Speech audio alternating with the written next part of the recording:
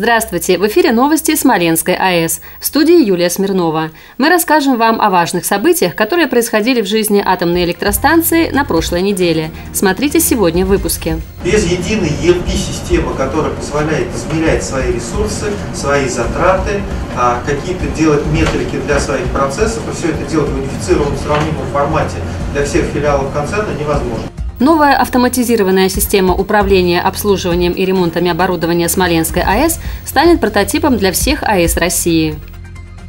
Рад приветствовать всех э, членов комиссии на Смоленской АЭС.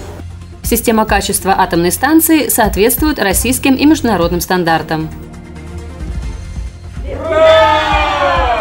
Награждение в рамках Всемирного дня охраны труда.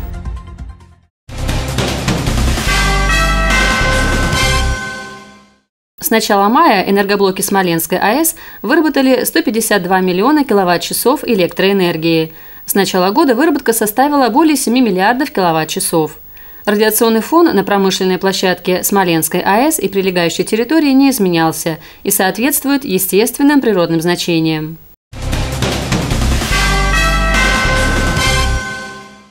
Новая автоматизированная система управления обслуживанием и ремонтами оборудования Смоленской АЭС станет прототипом для всех АЭС России. Единая унифицированная система, которую концерн «Росэнергоатом» планирует внедрить на большинстве АЭС России к 2018 году, позволит в конечном итоге снизить себестоимость выработки электроэнергии. Эта система – это сердце вообще концерна, и она одна из главных систем, которая должна дать самый большой именно финансовый эффект в деятельности концерна, который позволит снизить просто себестоимость выработки электроэнергии и максимизировать саму выработку. В 2016 году в развитии программы автоматизации производства в концерне стартует дивизиональный проект «ТАИР», в рамках которого аналогичный пилотный прототип АСУ «ТАИР» будет настроен на Балаковской АЭС с другим типом оборудования. И оба действующих прототипа пилотных станций с различными типами реакторов будут доработаны в единое проектное решение – шаблон АСУ «ТАИР АЭС», интегрированный с корпоративными системами концерна по управлению ресурсами и персоналом.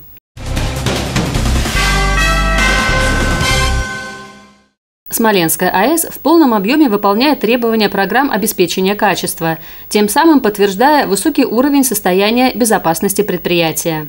К такому выводу пришла комиссия концерна «Росэнергоатом» по результатам плановой проверки, которая проходила на станции с 25 по 29 апреля. Подобные проверки проходят на атомных станциях концерна с периодичностью раз в два года. Их цель – проверка выполнения и оценка результативности программ обеспечения качества, выявление областей для повышения безопасности АЭС, а также примеров положительных практик для распространения лучшего опыта на площадках российских станций.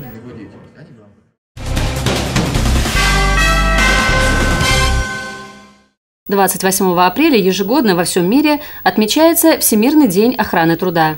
Отдел охраны труда совместно с профсоюзным комитетом провели на атомной станции конкурс детского рисунка по теме «Чтобы с тобой не случилась беда, помни законы охраны труда».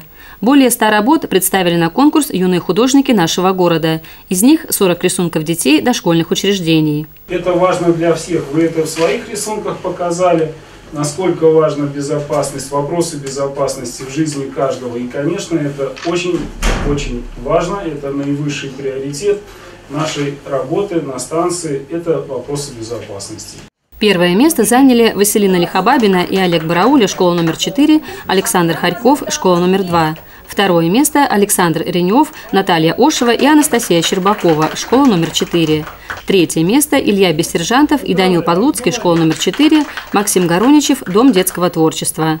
Среди дошкольников лучшими признаны работы шестерых воспитанников детского сада «Ласточка» – Лилии Фроловой, Дарьи Соколовой, Алексея Сидоренкова, Матвея Илюшенкова, Валерии Антоновой и Анастасии Мищенко.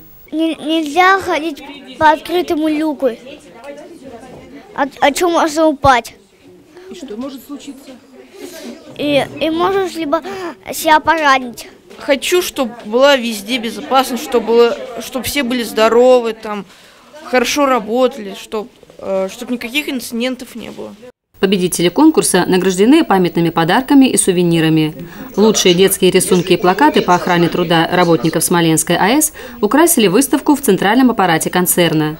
В городском конкурсе на лучшее состояние охраны труда первое место заняла Смоленская АЭС. Торжественное награждение состоялось во Всемирный день охраны труда в администрации города Десногорска.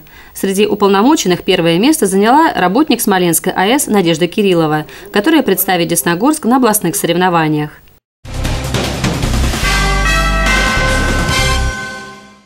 На этом наш выпуск завершен. Вы смотрели новости Смоленской АЭС. Хороших вам новостей и всего самого доброго.